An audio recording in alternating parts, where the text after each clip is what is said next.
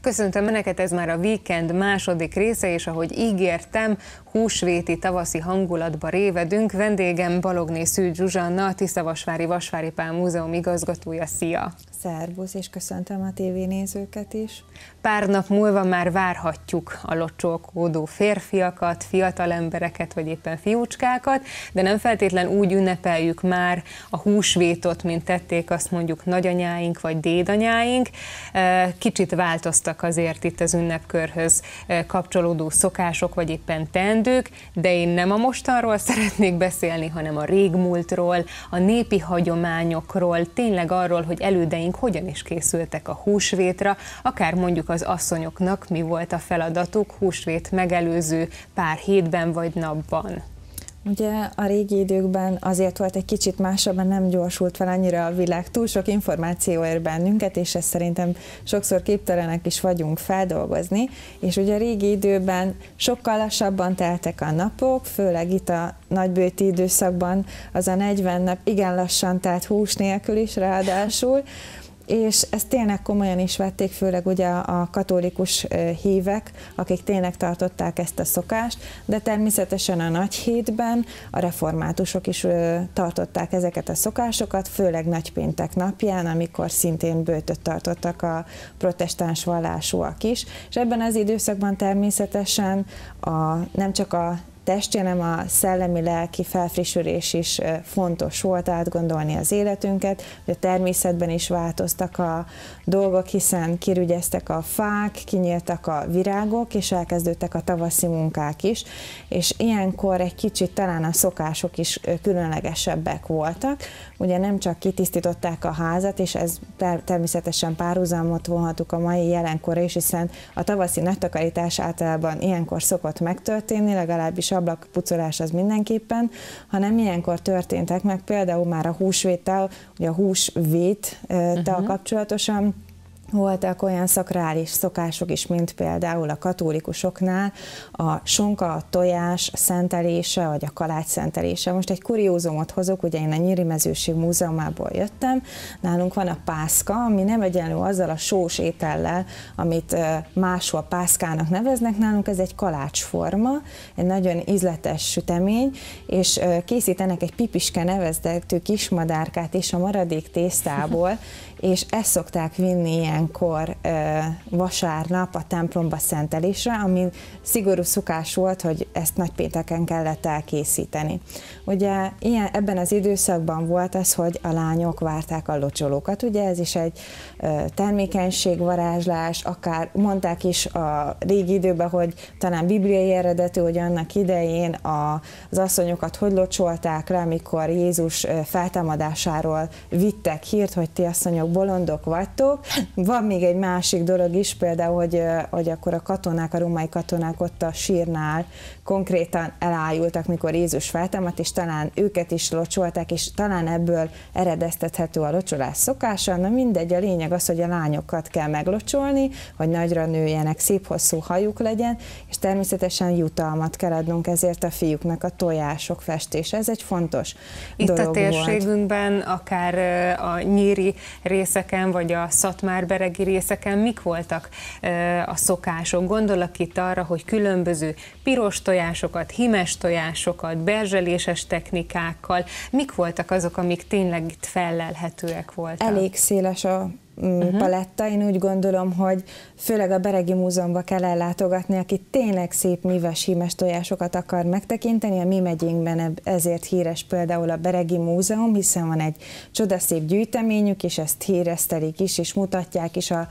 a, az irókával történő hímes tojás készítést, de a berzselést már ha említette, de ezt mi magunk is büröklevéllel szoktuk készíteni. Ez szerintem egy igazán elterjedt és egyszerű formája volt a hímes tojás készítésnek, amihez túl sok alapanyag nem kellett, csak pár növénydarab, illetve céklalé vagy hagymalé, ezt mi is nagyon szeretjük csinálni, a szagát eltekintve amúgy egy teljesen jó dolog. Ugye minden tojásnak, a hímes tojásoknak is szimbolikája is volt, és a lányok előszeretettel készítették ezeket, főleg, hogyha olyan lelkületük volt, hogy éppen tetszett az a legény is, és a hímes tojással ezt ki is fejezhették, hogy mit, érezhetne, mit éreznek iránta. Amúgy nem tudom, hogy mennyire tudod, hogy azért a húsvét ez egy háromnapos ünnep volt, tehát a húsvét harmadnapján a lányoknak kellett volna visszalocsolni, ez sajnos kikopott a köztudatból is és szokásvilágból is, jó lenne amúgy, ha visszajönne, mert szerintem egy-két fiú visszaérdemelni, de amúgy a húsvéti ünnepkör maga fehér vasárnappal ér véget, ami húsvét vasárnap követő hét, és itt a komázást szokták emlegetni, hogy a komatálat vitték át a barátoknak, és ezzel tulajdonképpen megpecsételték azt a barátságot, ami már régóta jelen volt köztük, kalácsot, zöldségféléket, gyümölcsféléket vittek, illetve hát finom ételeket is, ugye húsvétel kapcsolatosan már lehetett tartalmasabb ételeket is enni, úgyhogy egy kamázás szokását mi például a múzeumban mindenképpen elő szoktuk venni, és a gyerekeknek eh, tulajdonképpen ez egy új szokását kezdjük visszahagyományozni, hogy így gyerekek ti is megtudjátok, hogy ki az igazi eh, komátok, haverotok, barátotok, igaz, hogy mi kinder tojással játszuk már ezt, és nem komatállal például. Még egyetlen egy kérdés a végére, mert tényleg egy percünk maradt. Régen nem feltétlen csak mondjuk a kútból merített vízzel, vödörrel locsoltak a fiatalok, hanem volt ez a szagos víz. Ezt hogyan állították elő, vagy mi is az a szagos víz? Illatos vizeket a régi időkben is használtak, nem, nem csak uh-huh. most a parfümeket vagy ódatoaletteket, konkrétan illatos vizeket növények, gyógynövényekből, ilyenkor ugye már az ibolyavirágok uh-huh. kinyíltak, vagy a krókusz, ezek az apró tavaszi virágok csodálatosan jók voltak adva, adva hogy, hogy főzetet készítsenek belőlük, és ezeket kis üvegcsékbe helyezzék el, amikből lettek ugye a kölni vizek, és ezeket a kis kölni vizecskéket, üvegcséket például vásárokba vették meg a fiatal urak, amiket kidíszítettek. Ez nem olyan volt, hogy ezt egyszer eldobhatós, hanem ez tényleg hagyományozódhatott egyik fiúról a másikra, apáról legényre, ezeket használták fel arra, hogy növekedjenek, de azért szerintem a kölni víz az egy másodlagos dolog volt. Úgy gondolom, hogy az idővel inkább a 20. század közepére tehető az, amikor ezeket használták. A legfontosabb természetesen, ami kéznél volt, az a természetesen a kútvíz volt. Köszönöm szépen, hogy elfogadtad a meghívásunkat, Zsuzsa. Önöknek pedig készültünk egy újabb kreatív műhelyjel. Katonka Nikolett új kollégínánk, vágó kollégánk fog eh, alkotni most Veronikával, sok-sok szeretettel, önöknek a húsvét jegyében.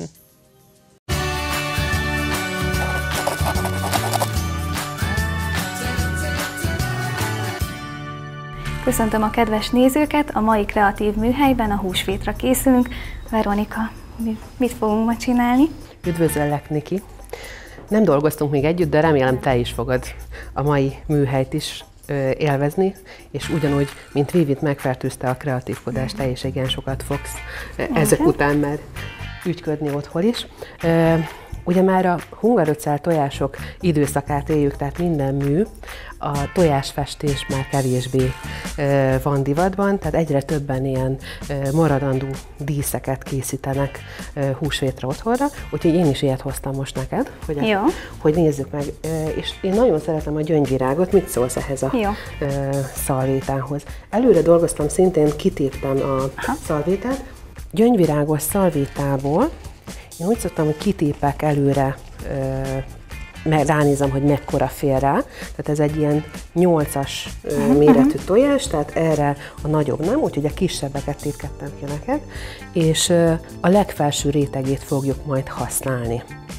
Kíváncsi leszek, legfelső, hogy varázsoljuk rá. A legfelső réteget leszedjük, és majd azt fogjuk rárakni. De mielőtt dekupázsolnánk, mivel hogy ez egy hungarocell tojás, ezt érdemes előtte lefesteni, méghozzá én azt javaslom mindenkinek, hogy legalább kétszer. Attól függ, hogy milyen színű szalvétával szeretnénk dolgozni. Ennek a, a legegyszerűbb, hogyha fehér alapú szalvétát választunk, és azt fehér alapozó festékkel, akrilfestékkel, amivel szoktunk dolgozni, a fehér vízbázisú akrilfestékkel kell festeni. Kétszer legalább én azt javaslom. És a festés pedig szivacsecsettel a legegyszerűbb, tehát ezzel a legegyszerűbb festeni. Én odadom neked, és akkor próbáld meg. Jó. Adok neked festéket, és szivacsecsetet. Nem kell sok festék, tehát nem kell, hogy az ecseten sok legyen, csak éppen, hogy legyen a rajta. Tényleg jobb ez, mint a rendes tojás, abból mire kifújod a belsejét. Igen, az eléggé macerás. Ah, igen. A simán festeni pedig annyira nem túl jó, mert nem tartós, hogy egy pár nap után annak vége. Ne húzgáld az ecsetet, hanem ja, csak, csak nyomkodjam. Uh-huh, csak nyomkod körbe szépen. Ja. Mindenhol legyen festék. És akkor mesélj te, most új munkahelyen? Vagy most kezdtél? Hogy is van? Hát, vagy öt hónapja körülbelül. Hát akkor ez nem is olyan nagyon-nagyon új munkahely. Igen. És úgy hallottam, hogy nagyon kreatív vagy egyébként a munkahelyeden. Igen, igyekszem. És mit festettél? Hogy is van ez? Hát a vágószobám fala egy kicsit már csúnyácska volt, és virágokat, pontosabban egy faágat, és arra virágokat, meg madarat festettem. És ne hát, csaptak rád rögtön a kollégák, hogy igen, itt igen. a helyed ebben a műsorban. Kétfajta tojást készítünk, két egyszerű tojást hoztam egyébként, amit könnyű elkészíteni. Az egyik egy sima dekupázsolt tojás lesz, a másik meg, meg a többiek már ismerik, én bútorfestéket kenek mindenre, úgyhogy a tojásra is azt fogunk kenni, bútorfestéket, de ez egy olyan bútorfesték fajta lesz, ami repedő festék, tehát ilyen régi hatású repedéseket lehet elérni a bútoron, nem és tojáson fogjuk kipróbálni, hogy milyen. Akkor ezt is lealapoztad, akkor megszárítom, ha mindenhol sikerül, és akkor erre megy a második réteg.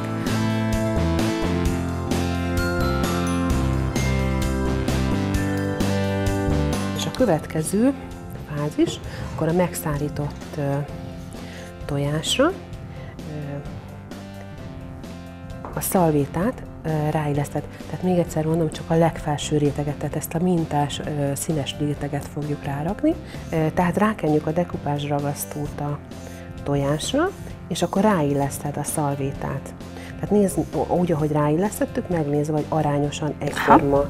helyre Jó. kerüljön majd, tehát itt bekentük, és akkor, és akkor már kell, tegyük rá? Már lehet, lehet rárakni. Nem kell nagyon vastagon rá a ragasztó, és akkor rá simítod egy picit, és aztán semmi gond, még ezt itt fel lehet szedni. Tehát még nem simítjuk rá, azt szépen fel lehet szedni.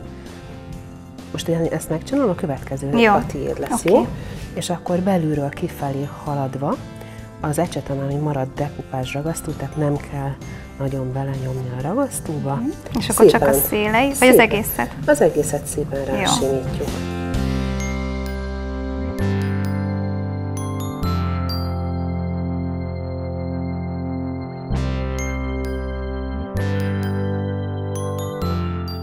Akkor miután megszárítottuk, tehát meg tudod fogni teljesen uh-huh. száraz, elkészült, utána lehet, lak, mi, mi most csak lakozni fogjuk.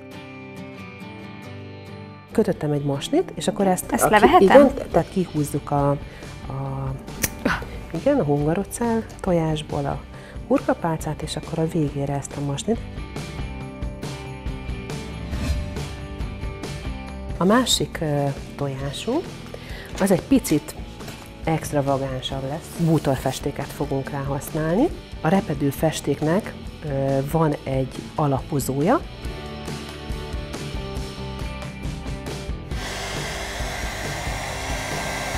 megfestjük, és újra megszárítjuk majd, és a kettőt fogjuk összecsiszolni majd.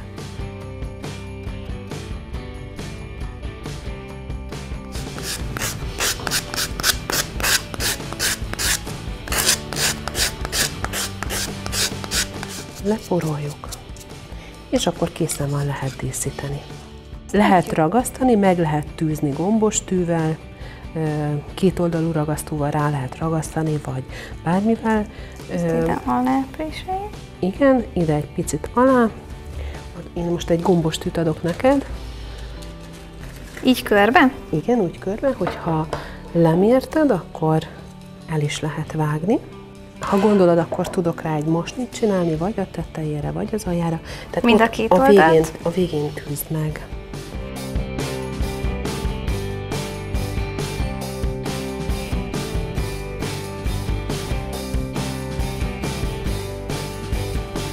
Elkészültek ezek a hungarocel húsvéti tojások, mi már Veronikával várjuk a locsolókat, próbálják ki otthon önök is.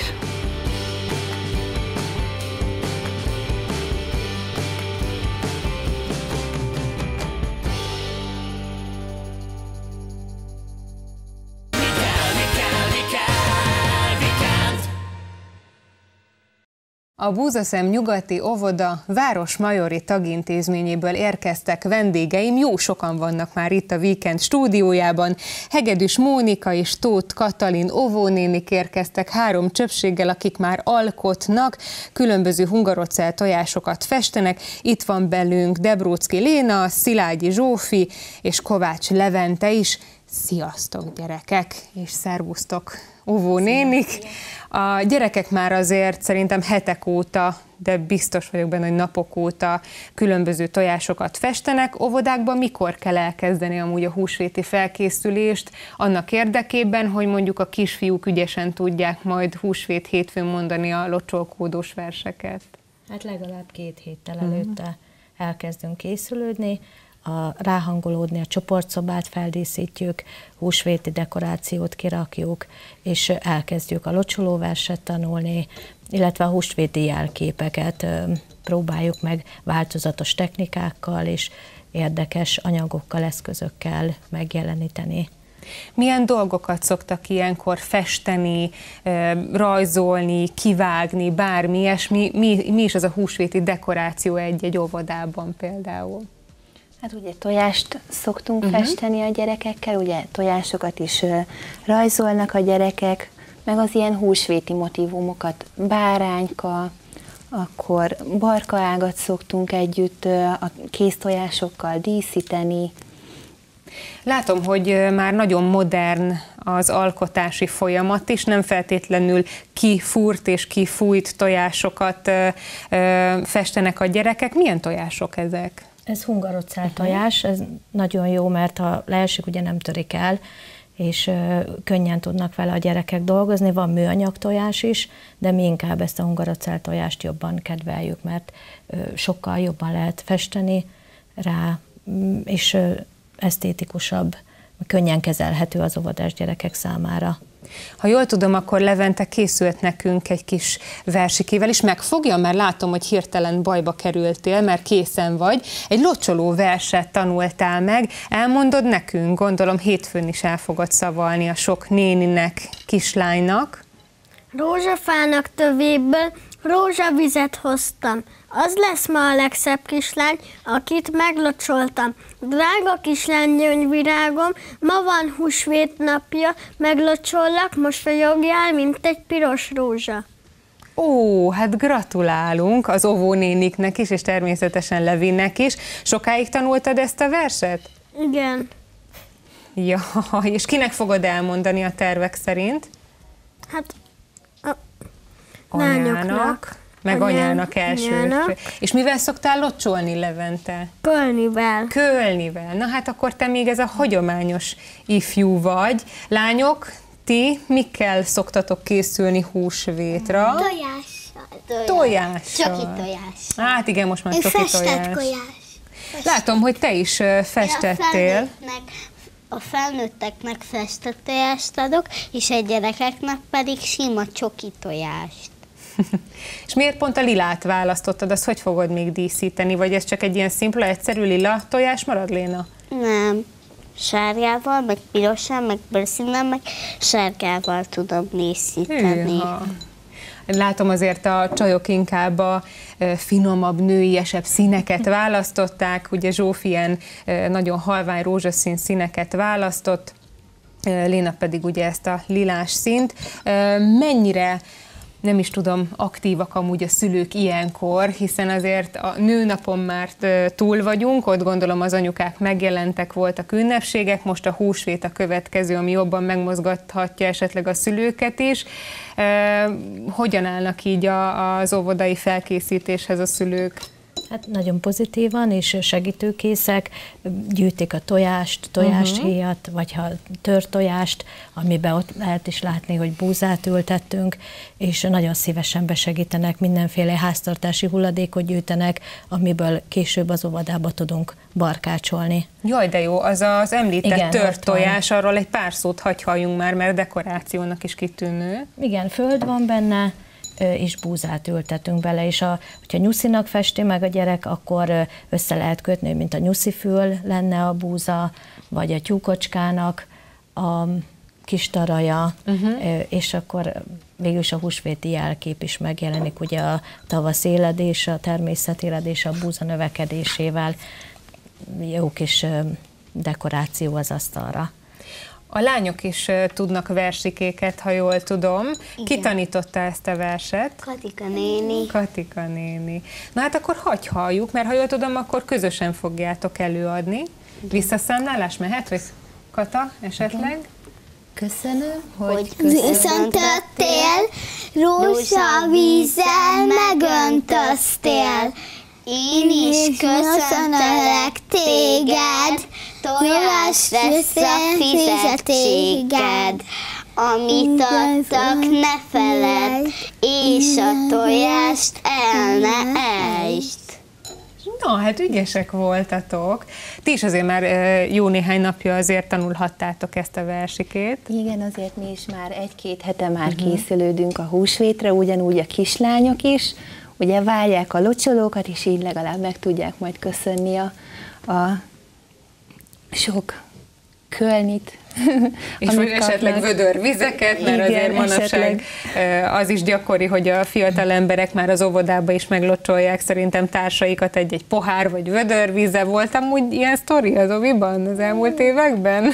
Nem jellemző, inkább otthon a családban inkább történik, otthon. igen. igen. Amúgy azt nézem, hogy ezeket a formákat már ők öntik ki, tehát azért vannak itt ilyen gipszformák, amiket már mind a hárman festegetnek, hogy ezeket is ők csinálják? Vagy azért Szoktunk itt még... közösen teljesen is, de uh-huh. legfőképpen én az óvodában nálunk elég magas színvonalon folyik a vizuális nevelés. Uh-huh. Régi hagyományokra tekint vissza, van egy nagyon szép kézműves műhelyünk, ahol a gyerekek tevékenykedhetnek, és nagyon sok új technikával ismerkedhetnek meg, és ott is folyamatosan ünnepi készülődésbe vagyunk, mindig aktuálisan az adott időszaknak megfelelően ők járnak ebbe a kis ők járnak, igen. csoportba? Mit szoktatok ott csinálni? Jó, persze most a tojásfestés az elsődleges, de miket szoktatok még csinálni ott? Hát... Mm.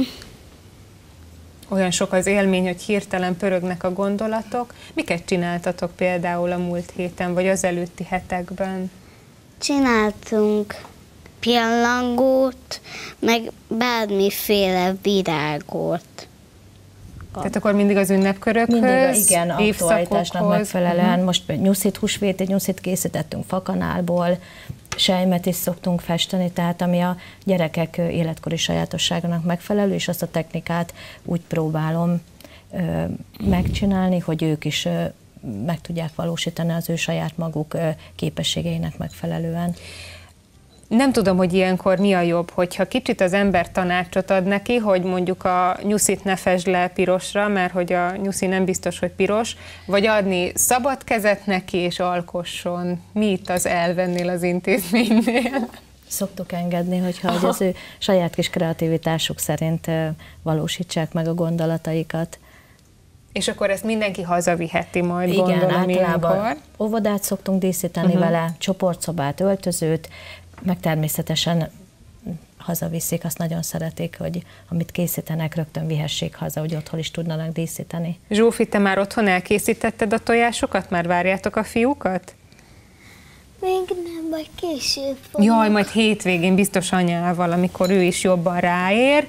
Levente, te mész majd locsolkódni akkor? Igen. És mit vársz el a nagyszülőktől, lányoktól? Csoki tojást, vagy inkább ilyen szép, himes, piros tojást? Hát mindkettőt. Ah, hát akkor úgy habzsi dőzsi. Én nagyon szépen köszönöm, hogy elfogadtátok a meghívásunkat, és hogyha van esetleg más ünnepkör, ahol tudnak szintén alkotni a gyerekek, akkor nagyon szívesen visszavárunk majd titeket.